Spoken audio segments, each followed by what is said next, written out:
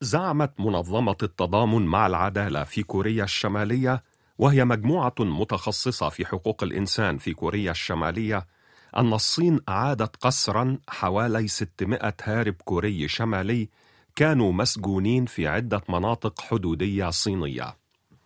أشارت المنظمة إلى أن عملية الإعادة القسرية إلى كوريا الشمالية قد تمت في وقت واحد وفي أماكن مختلفة منها داندونغ وهونشون حيث جاء بعض المسؤولين التابعين لجهاز الأمن الكوري الشمالي مباشرة إلى تلك المناطق الصينية من أجل الإشراف على عملية الإعادة.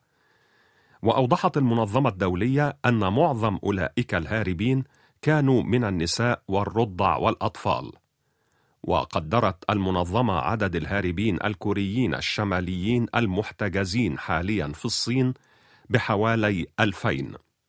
من جانبها قالت الحكومة الكورية الجنوبية إنها تتحقق حاليا من صحة هذه المعلومات وأكدت مجددا موقفها الذي يشدد على أنه لا ينبغي إعادة الهاربين الكوريين الشماليين قسرا إلى بلادهم تحت أي ظرف من الظروف.